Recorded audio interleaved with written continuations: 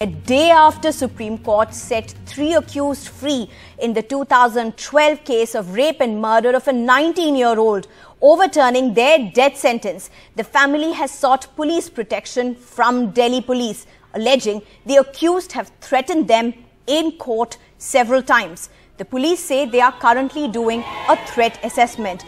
Three men were sentenced to death for rape, torture and killing of a 19-year-old woman in 2012 and they were freed by the Supreme Court just on Monday.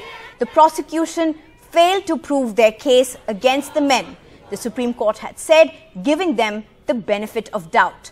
The three, Ravi Kumar, Rahul and Vinod were held guilty and sentenced to death by the trial court in 2014. The Delhi High Court upheld the death sentence, likening the men to predators, trolling the streets hunting for prey. But a Supreme Court bench led by Chief Justice UU Lalit said this prosecution failed to prove the charges against the three men beyond reasonable doubt. And the court acted like a passive umpire while convicting them. We'll of course keep bringing you the latest on this appeal from the 19-year-old's family saying that they have been threatened several times in court by the accused police assessing the situation.